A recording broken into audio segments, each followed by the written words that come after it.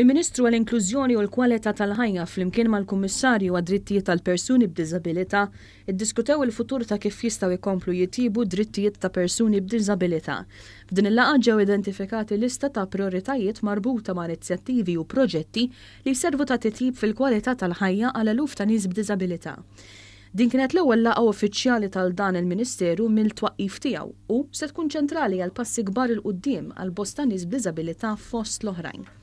Il-Ministru għall-Inklużjoni u l-Kwalità tal-Ħajja Julia Farrugia Portelli sostniet b'unur li laqgħat bħal dawn se jkunu ta' importanza biex l-inklużjoni u d-diżabilità jingħataw l-attenzjoni illi jeħtieġu. Jiena kburija li qed inservi f'portafoll li għall-ewwel darba ingħata ministeru biex iħares lejn l-inklużjoni u d-diżabilità mil-lenti aktar b'saħħitha. Irridu nibagħtu messaġġ b'saħħtu illi din hija bidla illi ċertament se tkun qed tħalli r-riżultati tagħha.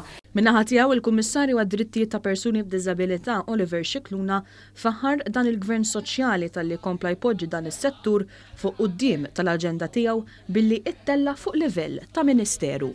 Kien jinħass il-bżonn ta' dan il-Ministeru għall-fatt li l-persuni b'diżabilità hemm barra qegħdin f'kull inkwa post fis-soċjetà tagħna u għalhekk tajjeb li tingħata din l-importanza biex b'hekk inkomplu nsaħħu d-drittijiet tal-persuni b'diżabilità.